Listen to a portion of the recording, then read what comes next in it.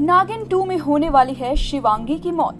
आखिर कौन मारेगा शिवांगी को? रॉकी या फिर शेषा? बेहद पॉपुलर शो नागिन टू के सेट से आ रही है एक बड़ी कमाल की खबर।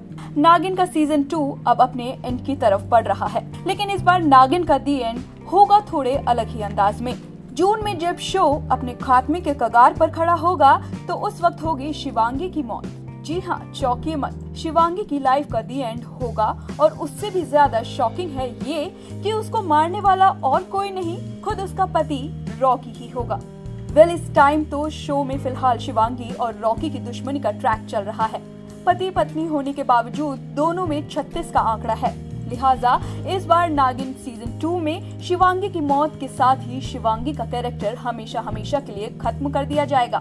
इसके पीछे एक बड़ी वजह है मॉनी रॉय का फ़िल्मों में जाना। आपको बता दें कि फ़िलहाल मॉनी रॉय के पास बॉलीवुड फ़िल्मों के ऑफर्स खूब आने लगे हैं। ऐसे में शो से उनकी ऐसी एग्जिट शायद शो के प्रोड्यूसर्स के लिए भी मुफीद होगी और ऑडियंस के लिए भी।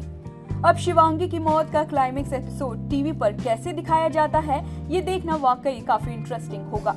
नागिन टू टीवी के कुछ सबसे पॉपुलर शोज़ में से एक है और मौनी को इसी शो से मिली है बड़ी सक्सेस अब मॉर्निंग एक नई इनिंग शुरू करने वाली है। और हम तो यही चाहेंगे कि टीवी की तरह ही फ़िल्मों में भी मॉनी सक्सेस की शानदार कहानी लिखे।